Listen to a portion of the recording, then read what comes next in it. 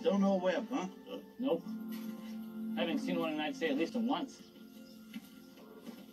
Funny how you get used to all those people being around the place. Kind of quiet without them, isn't it?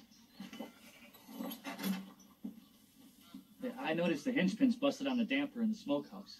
Want to order a new one? Suppose you better. That's a special order. Gonna get a jump on that if we're gonna smoke any ham before the holidays.